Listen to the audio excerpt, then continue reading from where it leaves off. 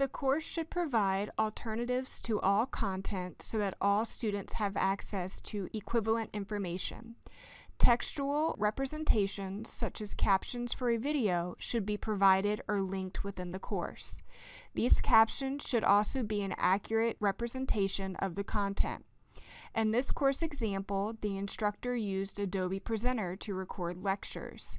In each lecture, a transcript is provided that is equivalent to the audio in the lectures. This ensures the lectures are accessible to all students.